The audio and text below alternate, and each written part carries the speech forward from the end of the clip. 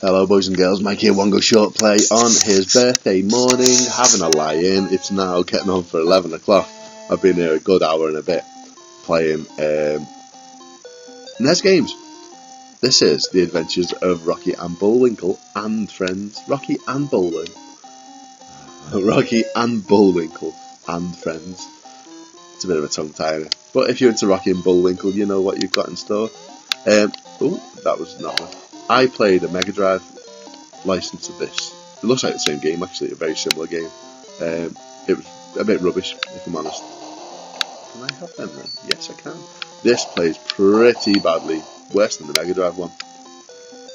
Uh, I mean, you can see how stunted this sort of movement scrolling is. It's got inertia, we had this conversation in the last video, um, but the inertia is not. It doesn't make the game play any better at that. Uh, no, it's not like the Mega Drive. This wasn't in the Mega Drive. It's got the same sort of visual look. Although you'd think the NES could do this better than it's doing it, but that's okay. The theme seems to be bombs.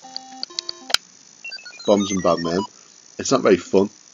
At least in the Mega Drive one, it's just a platform where you progress. I'm not progressing. I'm running backwards and forwards. On, I've got a charge. You're going down now. Have that. Yes, get down. Yeah, killed him eventually. Who needs to be throwing bombs when you can just use their horns? I like that mechanic. That's a nice little move. Let's just do that and get rid of these guys that way. Ow. Alright. We don't want to be running over the bombs. We want to be picking the bombs up. I want that key. I clearly need that key. Um, I see. They're going to fall in exactly the same spot.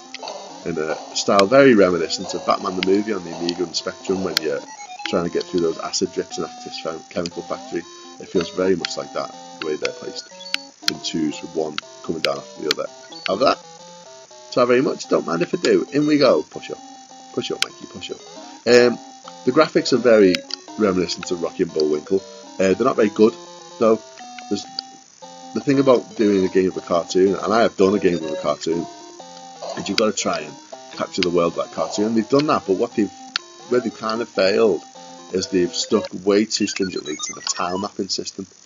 Um, so it gives the impression that all those random bricks are happening in tiles way too much, and it makes it look too quantized where it's supposed to look kind of chaotic and natural. It doesn't look natural at all. Does that make? Am I making sense? I'm making sense in my own head. Um, oh, that's not going to happen. They're a bit. Um,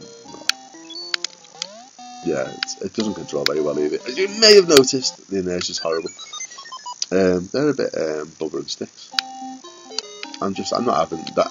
That that cup up there is energy, ironically, or health. And the irony is, of course, I'm losing all my health trying to get it. It's one little bit of health. Whoa! Not happy about that.